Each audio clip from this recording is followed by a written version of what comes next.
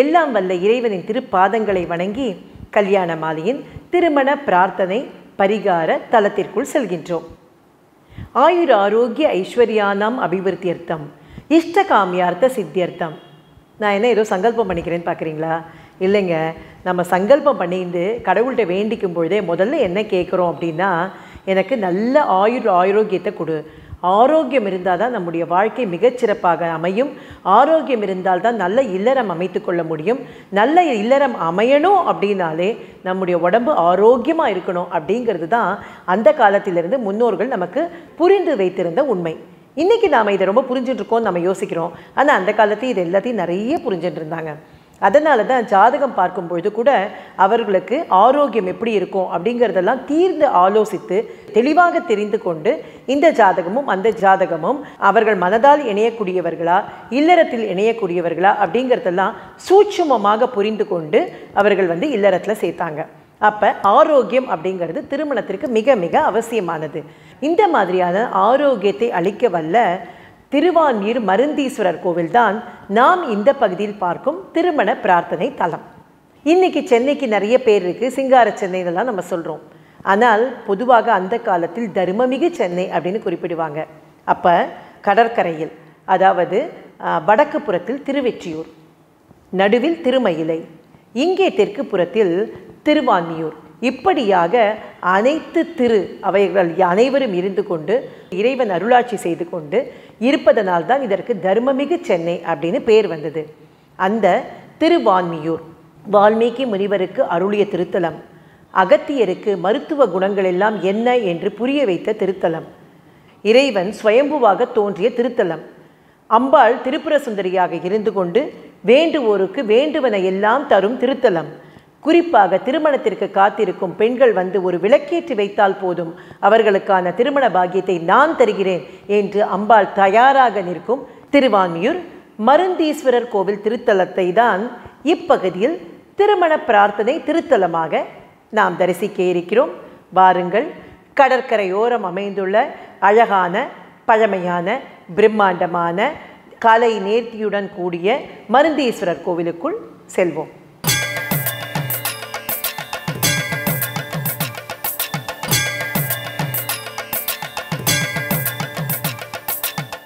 கல்யாண மாலை மோகன் தலைமையில் இயங்கும் எக்ஸ்க்ளூசிவ் சர்வீஸ் வரன் பற்றிய விவரங்கள் வெளியே செல்லாமல் மிகவும் பாதுகாப்பான மற்றும் பிரத்யேகமான சேவை. விவரங்களுக்கு nine eight four zero eight nine one four double zero மற்றும் double nine four zero four triple one two five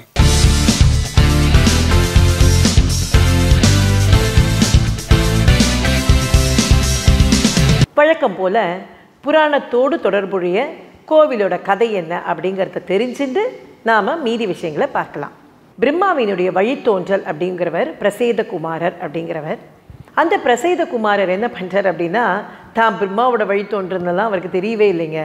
அவர் வந்து வேடவர்களோடு தான் சேர்ந்துட்டு தீய வழியில் போகிறார் எப்பொழுதுமே இந்த மாதிரி விஷயங்கள்லாம் ஏன் நடக்கிறது அப்படின்னா அவர்களுக்கு தன்னை உணர்ந்து கொள்வதற்காக ஒரு வாய்ப்பை இது ஏற்படுத்தி தரும். பிறகு அவர்கள் யார் என்பதை உலகத்திற்கு உணர்த்துவதற்காகவும் இது எல்லாவற்றிற்கும் மேலாக அங்கே நடந்த ஒரு அற்புதம் வந்து தொடர்ந்து வரக்கூடிய சந்ததிகளுக்கு தொடர்ந்து வரக்கூடிய மானுடர்களுக்கு பயனளிக்கக்கூடியதாகவும் உய்விக்கக்கூடியதாகவும் அமையும். இதற்காகத்தான் இந்த மாதிரியான காட்சிகள் லீலைகள் இதெல்லாம் சொல்லப்படுறது.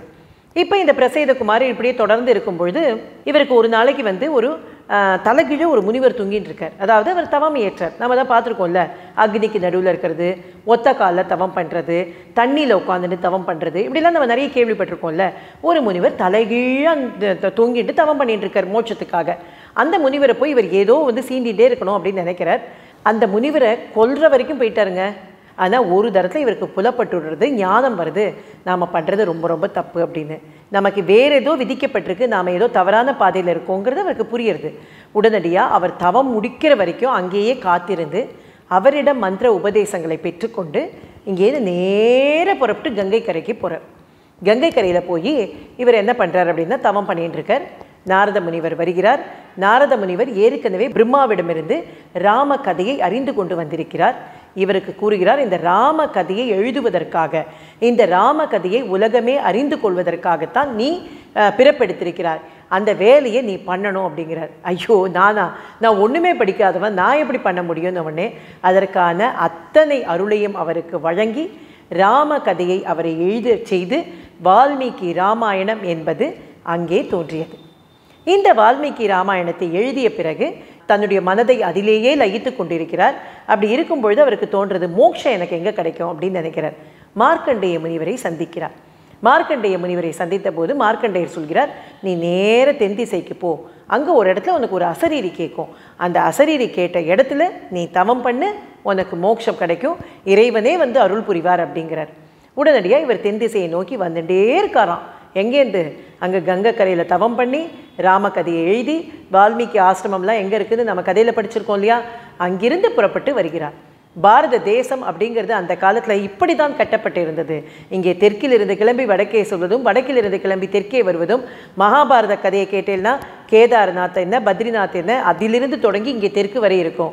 அதே மாதிரி ராமாயணம் எங்கேயோ வடக்கில் தோன்றி எங்கே உத்தரப்பிரதேசத்தில் அயோத்தியில் தோன்றி பீகாரில் சீதை பிறந்த இடத்திலிருந்து தோன்றி வடக்கு முழுக்க வந்து இங்கே தண்டகாரண்யம் வந்து கிஷ்கிந்தை வந்து ராமேஸ்வரம் வந்து இலங்கை வரை சென்றது.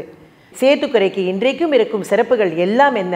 அந்த ஆதி ஜெகநாதர் தசரதரே வழிபட்ட அந்த தெய்வம் இங்கே இருப்பதனால்தான் இப்படியாக பாரத தேசத்தை ஆன்மீகத்தில் கட்டி போட்டிருந்தார்கள் அந்த காலத்தில். இன்றைக்கும் நாமெல்லாம் ஏதோ பண்ணிட்டு இருக்கோம் இருந்தாலும் அதெல்லாம் குறைஞ்சி போயிடுதுங்கிறத நாம் மனசாட்சியோடு ஒத்துக்கணும். இப்போ நம்ம கதைக்கு வரலாம். இந்த வான்மீகி முனிவர் என்ன பண்ணுறாருன்னா இந்த தென் திசையை நோக்கி வந்துட்டே இருக்கார்.